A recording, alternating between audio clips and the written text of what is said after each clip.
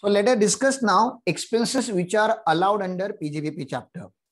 The list of expenses which is allowed is given from section 30 to section 37.1, 37 subsection 1. This is the range, range of the section in which expenses are allowed. The first section is talking about rent, repair and insurance of a building. My dear friend, whenever you will think about starting a business, definitely the first thought or the first thing that you should arrange on your asset side that is building. Everything start with the building. Without having a building you cannot run a business efficiently. And therefore they are saying okay if you have the building then you can claim the depreciation. That's a separate section. But if you don't have a building at least you will take the building on a rental basis. So rent of a building which is used for a business will be allowed as a deduction. Apart from that that building may require certain repairs. Usually during the rainy season it requires a certain amount of repairs. So that repair is also allowed as a deduction. Sir, if you are exposed to the you know flood affected area or uh, there is a possibility of taking fire in your building premises, so you can take the insurance and insurance taken for a building will also be covered under section 30. Not only that, the most important one is taxes.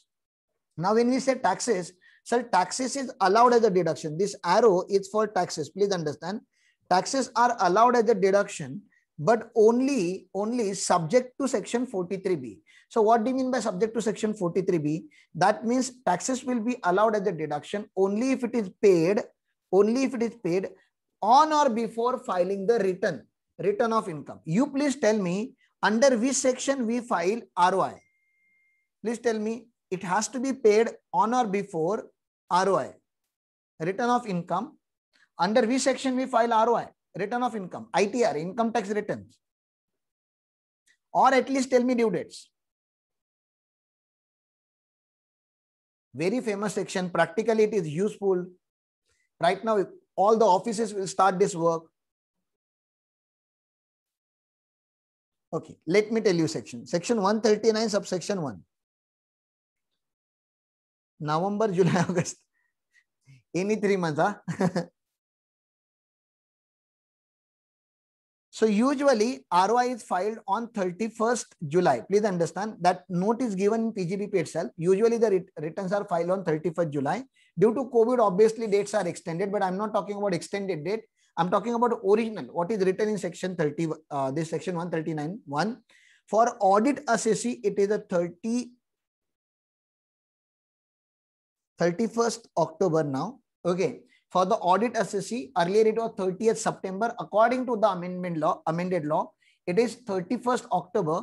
And if you are an international assessee and it is you are required to submit transfer pricing report to income tax department, then it becomes 30th November. Okay.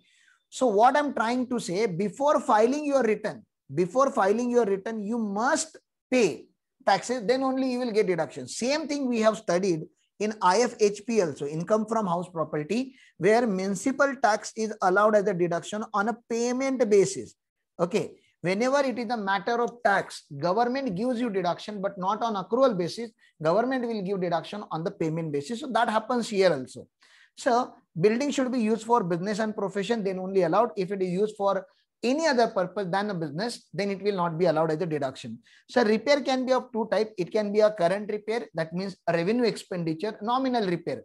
Okay. Or it can be a capital expenditure. So what do you mean by capital expenditure? Uh, replacing your tiles, constructing one extra floor, you know, these are this kind of capital expenditure also you might have incurred. The benefit of that particular expenditure, which will be available over the period of time, it is enduring in nature. Okay, long-term benefit then we will not give you the deduction under section 30, 30. The deduction will not be available here, but definitely you can claim the depreciation after capitalizing those expenditure into the balance sheet. So if it is a revenue expenditure directly to the profit and loss account, if it is a capital expenditure, first write down in the balance sheet asset side and then claim depreciation on that, the depreciation will be debited to your profit and loss account. This is how I can explain in accounting language.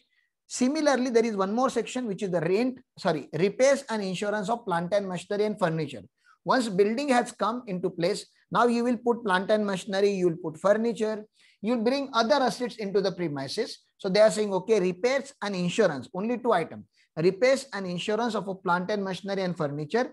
If such plant and machinery and furniture is used for a business, then it is allowed. If it is used for any other purpose, then not allowed. For repair, the chart goes in the same manner, exactly same manner. Current repair, deduction under section 31. If it is a capital repair, no deduction under section 31. You can capitalize and then you can claim it as a depreciation under section 32. So rent of a building was allowed under section 30. Rent of a building was allowed under section 30. Sometime assessee may take some plant and machinery on rental basis. Will it be allowed under section 31? An answer is no. So for that purpose, we are having a general deduction. There are many expenses which cannot be expressly provided in the income tax law because every industry, mining industry incurs different types of expenditures. Uh, service provider in, incur different types of expenditures. Transport industry incurs different types of expenditure. Telecom industry incurs different type of expenditures. So every business is having different kind and nature of expenditures. We cannot provide you list of all the business expenditures. Therefore, any expenditure which is not exclusively provided under income tax law for the PGBP matter, that will that particular expenditure will be allowed under section 37.1.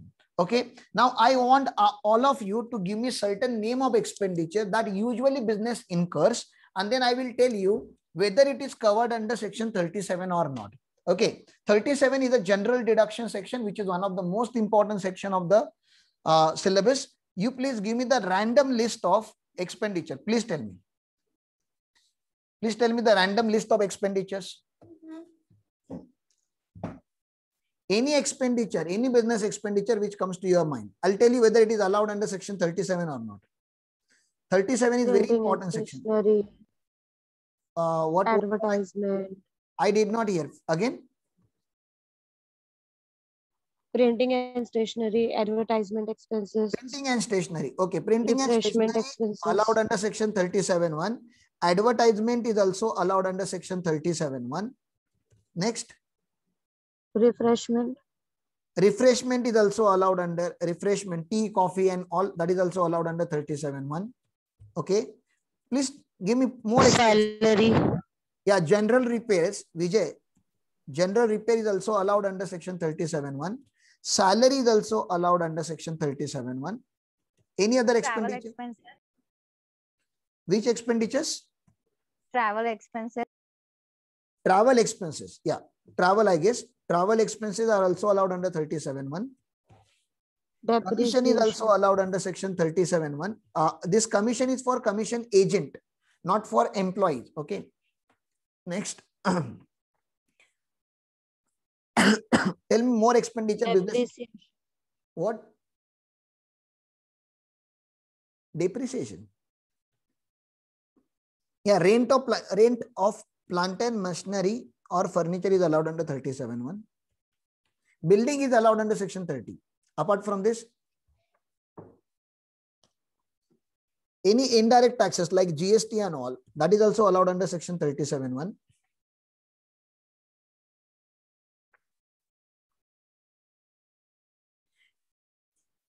What I'm trying to say, whatever expenditure comes to your mind is usually covered by section 37.1. Okay. And therefore, section 37.1, practically it is more important. Theoretically, it is other deduction, general deduction because theoretically there is a limited amount of scope. We can't talk much more much more about theoretical but practically because i work on income tax returns on daily basis i know practically at least 80 to 90 percent of the expenditure of a business is claimed under section 37.1 okay that's the power of 37.1 so let's look at the language of 37.1 first of all general deduction. What is sir this is this there is a correction you are having a printed notes no? Please make the correction here. Write down a residuary. Okay it's not residency it's a residuary. Residuary expenses. So what do you mean by residuary? Others etc etc expenses. Okay. That means expenditure which are not exclusively covered under section 30 to 36 1 will be allowed if the following conditions are satisfied. First condition, wholly and exclusively related to business. It should not be capital in the nature. It should be revenue in the nature. It should not be personal expenditure. So if you comply with this condition, your expenditure will be allowed under section 30 to 36 one. Let me ask you few questions very quickly. Okay. If I'm running bar and restaurant, okay, if I'm running a bar and restaurant, you know that I have to pay some under table money to police department or local gundas. Will it be allowed as a deduction? If I'm running bar and restaurant, police will come to take hafta. We call it hafta. Is it? It is very, very, very important expenditure. Okay. No, sir, it won't be allowed. But look at the conditions. Look at the conditions. All the conditions are complied with this. Okay. This is secret commission, or in other language, in our Mumbai language, it is known as hafta. Okay. Look at conditions. First condition, it should not be covered under section 30 to 36 one. Yes, it is complied. Breaking. Yeah. Hello. Hello. Is it clear now? Hello. Am I audible to all of you? Sometimes uh, Yes, so sir. network like network problem can happen on two side, my side and your side. Yeah. Okay. So I'll continue then. 30 to 36 one. The next one is next condition. It, it is not. It should not be capital expenditure. It should not be capital. No, no, no. It is not a capital expenditure. Third condition, it should be revenue expenditure. Yes, sir, it is a revenue expenditure every day, every week, every month I have to pay. It is a revenue expenditure. The fourth condition, it should be related to business and profession. Definitely, sir, because I'm running a business, therefore I'm paying. So it is definitely related to business and profession. And it should not be personal expenditure. It should not be personal. No, no, definitely, sir. It is not a personal expenditure. Even this condition is complied. Now you can see whatever condition we have just gone through here. Okay all the condition which are whatever it, it is written here are complied then how can you stop me from taking the deduction of this particular expenditure that is a bribe a bribe paid to the uh, you know government officers or secret commission given to the contracting party so many things are there okay so uh, penalty paid uh, for breach of law. So all these expenditures should it be allowed or should not be allowed? So explanation. They provided explanation. 1 to section 37 1 they had provided explanation 1 to section 37 1 which says if any expense which are offensive or prohibited or illegal in the nature it should not be allowed as a deduction uh, examples secret commission hafta payment to rowdy. Okay. Many times i give this example. Let me give you one more one more time. Right now during the covid situation Okay, during the COVID situation, you know that Ratan Tata has donated more than, when you say Ratan Tata, it's not actually Ratan Tata, it's a Tata group actually. Okay, so Tata group, Tata Steel, Tata Motors, combining, they have donated more than 1,500 crore. Okay, maybe more than that, but just take 1,500 crore. For COVID relief, don't you think this is a very good amount of fund that is Ratan Tata is spending on the society? It is called as CSR corporate social responsibility. This is done as a CSR activity, corporate social responsibility is very good number. Apart from that, in my native place, right now I'm staying in a native place and therefore street light is always the issue because here in native places, we don't have street lights. But ONGC, there is an organization, no ONGC. ONGC have installed here solar street lights, solar based street lights. So electricity problem has been resolved because why don't why don't we have street light because we don't have electricity connection so ongc have installed solar based street lights in villages so that is helping us and obviously on each street light there is a board written that this is out of the initiative run by ongc as a csr okay corporate social responsibility so many corporates many organizations they do good for the society so why organization should incur CSR expenditure? So for that, I always jump to the, I always jump to the economics. In economics, they teach you factor of production. Can you please tell me what are the factors of production? A little bit of your econ economics should be strong. No, what are the factors of production? Please tell Land, me. labor, capital. Land, labor, capital, and owners or entrepreneurs. Okay. These are the factor of production. Now you tell me when we talk about particular organization, organization takes land from society. Okay. Organization takes labor from society. Organization takes capital also from society. Sir how society? If share if you are talking about shareholders they belongs to the society. If you talk about bank loan society have kept a deposit in bank and then bank have given the loan to the corporates. Okay. So directly or indirectly it is taken from the society owners of the organization entrepreneurs of the organization founders of the organization they also belongs to the society so land is taken from the society, labor is also taken from the society, capital is also taken from the society, entrepreneurs also belongs to the society. And by taking all the inputs, we call it inputs, by taking all the inputs from the society, the organization will produce goods and services. And who will consume their goods and services? Hello? Again, who will consume the goods and services? Customer. Yeah, but who is the customer? Customer belongs to? People.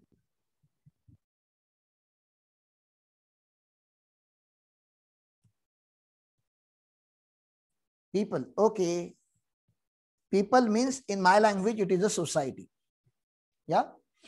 Yes. Inputs are taken from the society and output is also given to the society. By taking input and by giving output, the organization is making crores of profit. Say, for example, 10,000 crore profit they have made. Don't you think they should do something for the society like this?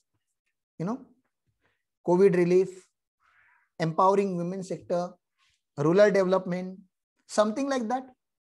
Don't you think it is their responsibility? Hello? It should not be their choice. It should be their responsibility. Responsibility is much more serious word. It, it means mandatory. Responsibility word is having mandatory force. Okay.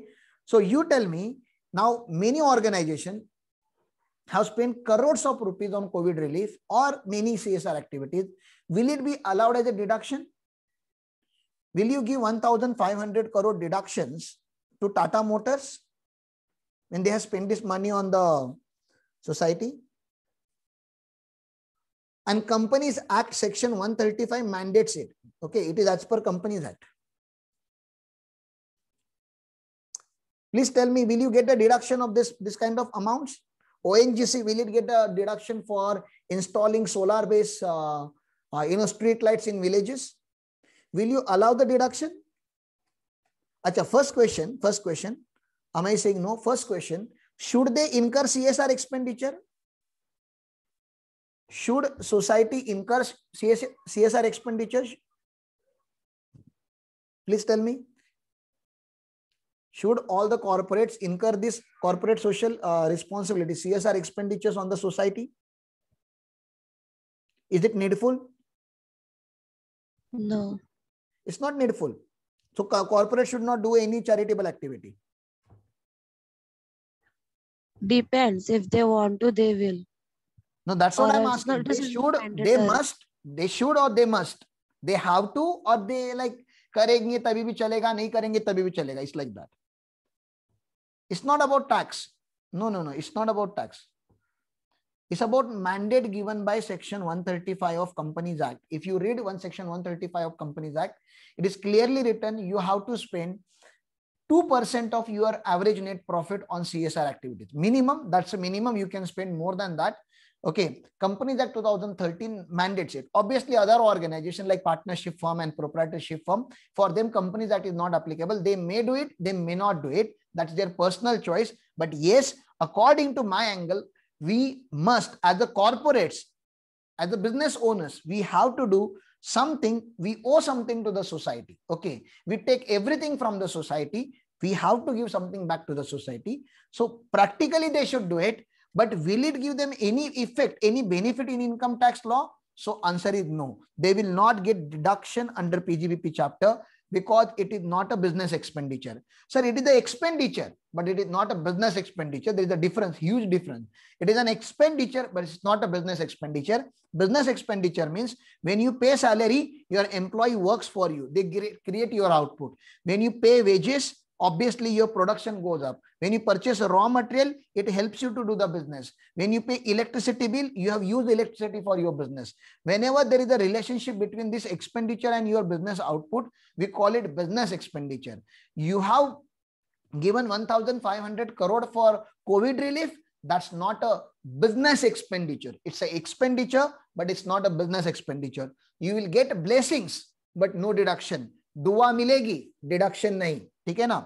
I hope you remember this दुआ मिलेगी deduction नहीं. So where is it written it is written in explanation two explanation two two section thirty seven one look at this explanation two two section thirty seven one expenditure related to activities okay related to activity related to C S R corporate social responsibilities as per Section 135, it's not 35, it's 135 of the Companies Act shall not be allowed as a deduction. CSR expenditures are not allowed as a deduction. This is not allowed under PGBP chapter. Let me tell you, my dear friend, it may allowed under 80G or 80GGA. Okay. It may allowed in 80G or 80GGA. It's not allowed under PGBP. If you are having any doubt, please ask till now.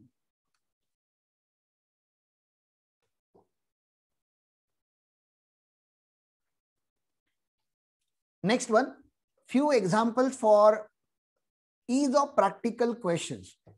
Okay, section theoretically is over, but few example we should discuss. Salary, the expenditure covered by section 37.1. Definitely salary paid to employee has to be allowed as a business expenditure, no doubt about it. But salary paid to proprietor is not actual expenditure. It's just a journal entry. You don't pay salary to yourself for running your own business. And therefore, it should not be allowed as a deduction salary paid to partner should be discussed in partnership uh, you know assessment of the firm. If it is paid to the working partner allowed. If it is paid to sleeping partner or any other partner not allowed. And it has to be according to partnership deed then only it is allowed. That too it is allowed subject to section maximum limit of section 40b there is a limit section 40b limit. You cannot enjoy benefit more than what is there in the limit. What is the limit sir? You know that if book profit is 3 lakh rupees then uh, 90 percent and if above above above 3 lakh then it is 60 percent. Those limits we will discuss in 40b leave encashment benefit or leave encashment salary is the benefit given to the employee for not taking paid leaves. That is the extra benefit to the employee but extra expenditure to the employer. Definitely it is allowed as a business expenditure but subject to section 43b meaning thereby on payment basis. You have to pay then only it is it is allowed as a deduction so penalty. When do you pay penalty? Whenever you do something wrong, you pay penalty. Now, something wrong can be in relation to breach of law. You have broken the law.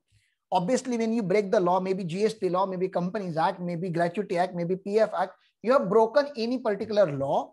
After breaking the law, if you have paid the penalty, you cannot take deduction of that penalty shamelessly under PGBP chapter. So we say for penalty for breach of law is not allowed, but penalty for breach of contract is a business decision. When you do the contract with one particular party and later on you don't want to execute that particular contract, that's a business choice. Penalty for breach of contract paid to a party should be allowed as a deduction. So cancellation of, uh, you know, cancellation of government contract, construction contract, uh, delay in supply of goods, all these are acceptable business expenditure. Next one. Sir, taxes. Always remember and teach yourself very much clearly that direct taxes are not allowed as a deduction in direct taxes, but indirect taxes are allowed as a deduction in direct taxes. Why, sir? Because indirect taxes, you people don't pay GST, meaning thereby you people are not registered with the GST department because you are not running a business. Tomorrow, if you start a business, tomorrow, once, once you become a practicing uh, chartered accountant, practicing cost accountant, if you start your business, please understand, once you start your practice, you will get registration under GST, like I'm registered under GST. Okay. Now, once you're registered under GST, obviously you will pay, start paying GST. Then it will be called as a business expenditure. So excise duty we pay because we manufacture certain commodities. Custom duty we pay because we import and export certain commodities. GST we pay because we are running, we are doing a supply of goods and services in India.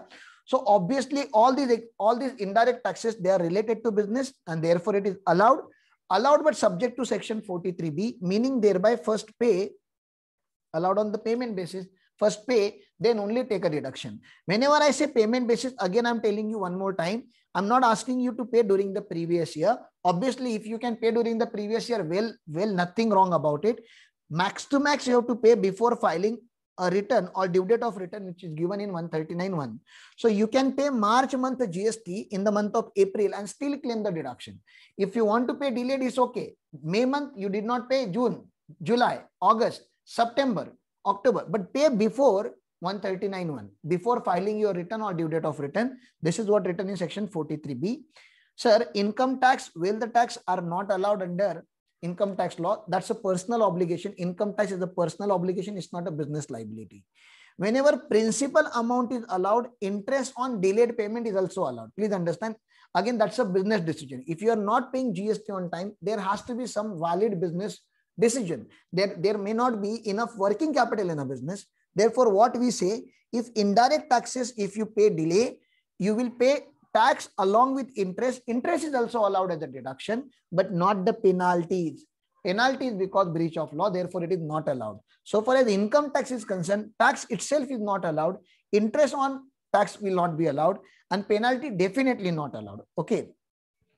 Income tax refund is not a income. Please understand, whenever I have paid 1 lakh rupees the TDS, somebody has deposited 1 lakh rupees TDS on my name, whereas my tax liability is only 20,000 rupees. So balance 80,000 will be given by the department to me as a refund. Is it my income? Definitely no. This 1 lakh rupees was my income only. That time you have considered the income. This refund is not my income. Refund is something like that. I have just deposited extra money with the department and I'm going, going and taking it back.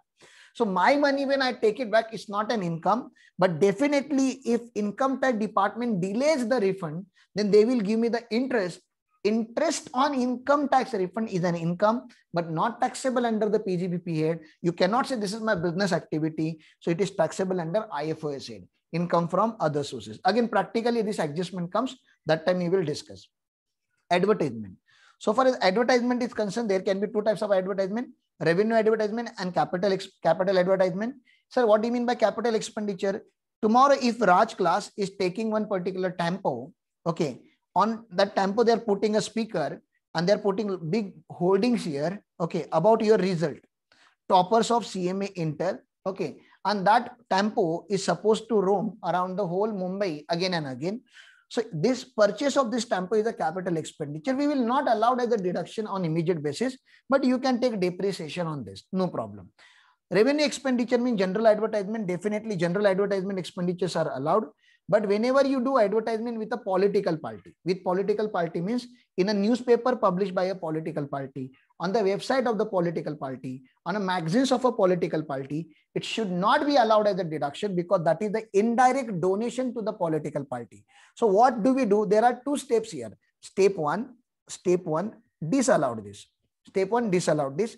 And step two, step two, allowed it but under 80GGB and 80GGC. 80GGB for company assessee, 80GGC for other assessee, and it is allowed only if it is any mode other than cash. It cannot be cash. Okay. It has to be by any mode other than cash.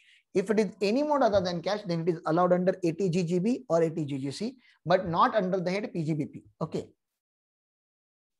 Yeah, that's a theoretical end of section 37. If you are having any queries, please ask.